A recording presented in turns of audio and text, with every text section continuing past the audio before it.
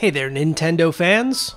My name is Amiibo Jason, and welcome back to another episode of the Nintendo Wiretap, this time for June 1st, 2018.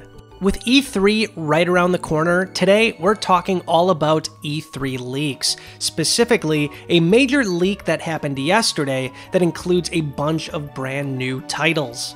So, without further ado, let's take a look. Yesterday on 4chan's video game board, an interesting image popped up.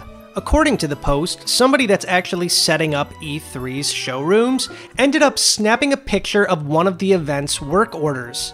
The games in question on the work order was Dragon Ball FighterZ, Fortnite, Killer Queen Black, Starlink Battle for Atlas, Paladins Championships of the Realm, Overcooked 2, Monster Hunter Generations Ultimate, and Mario Tennis Aces.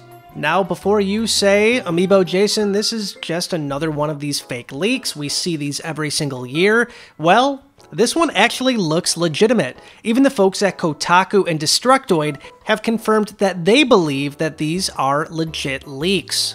Destructoid even went as far to say, we're confident that this rumor is accurate.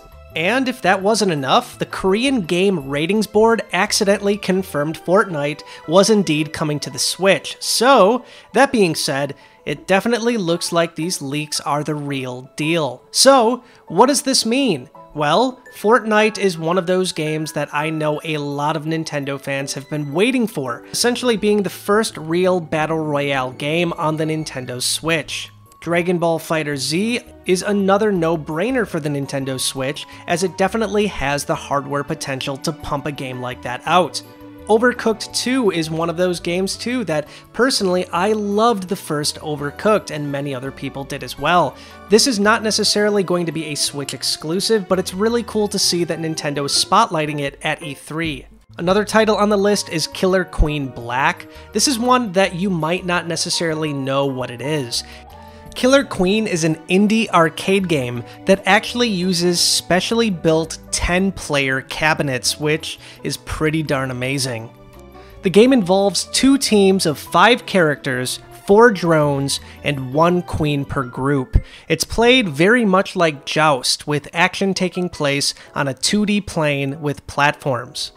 What Killer Queen Black might look like is still beyond me, but I'm guessing it's going to be very similar to its arcade counterpart. But luckily, we have very little time to wait as E3 is only about a week away.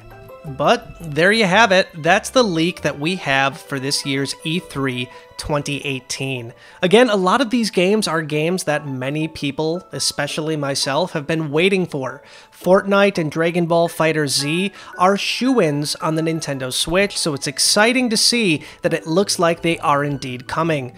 I also want to point out that I don't believe that this is the full list of games that we're going to see at E3.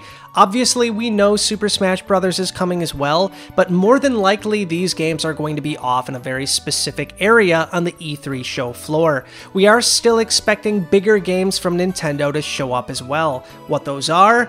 We're just gonna have to wait about a week and a half to find out. Now, what do you guys think about this leak? Are you excited for any of these games on this list? Let us know what you think in the comments down below. And that's going to wrap up today's episode of the Nintendo Wiretap again for June 1st, 2018. Once again, we want to thank our amazing Patreon supporters for helping make this show a reality. If you want to help support an episode of the Nintendo Wiretap, you can do so by heading over to patreon.com slash nintendowire or clicking the link in the description down below.